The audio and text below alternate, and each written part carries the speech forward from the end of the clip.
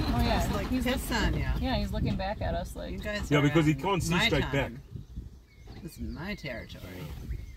He's like, this is a much easier path for me, so I'm sticking on it for a little bit. Yeah, their feet are just so soft.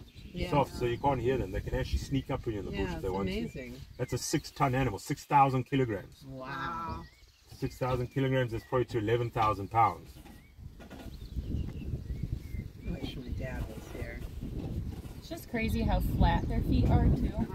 You know, Yeah, so they walk on the tippy toes like that, do they? and they've got a hard, spongy, fatty layer under the heel. Wow. So that's why it sponges out like that. Yeah. and then it helps us gives their, their feet uh, very good shock absorbers when they're running because him he, he can run up to like 35 kilometers an hour and he bangs his leg down all his weight's going on that leg and if he had weak bones he's going to break his bones Do you remember those moon shoes that they used to make and sell in, in Oh, the yeah. 90s? Moon boots. Moon boots. That's what it reminds me of. it's got moon boots.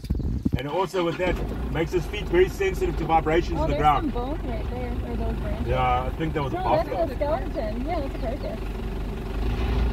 Probably what, like a kudu? i think it was a buffalo Buffalo. i think I don't, i'm not 100% sure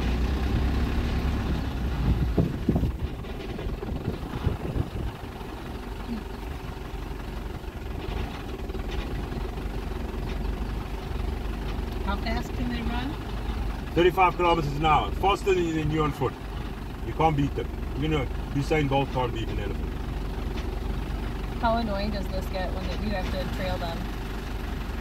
It can get very irritating if they decide they're going to walk for a long distance along the road. You can't pressurize them from behind you'll get, Yeah. you won't get happy. The only thing that can change is sometimes if a, car comes around in the front and then you'll be like, okay, I'm over it.